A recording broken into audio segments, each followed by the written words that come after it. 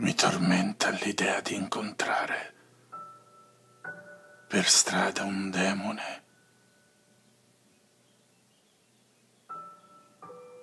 Che con il solito sorriso sarcastico, consegnandomi un foglietto con su scritto un nuovo destino, mi faccia toccare con mano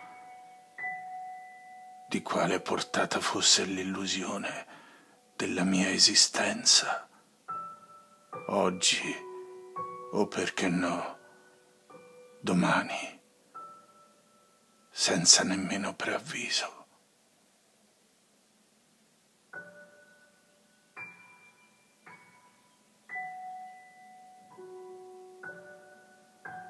Straniero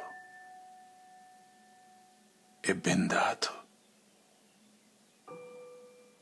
questo futuro ogni volta mi ha cambiato la vita, spalancandomi le porte dell'oscurità. opponendosi alla chiarità dei giorni. Procederà verso di me a tentoni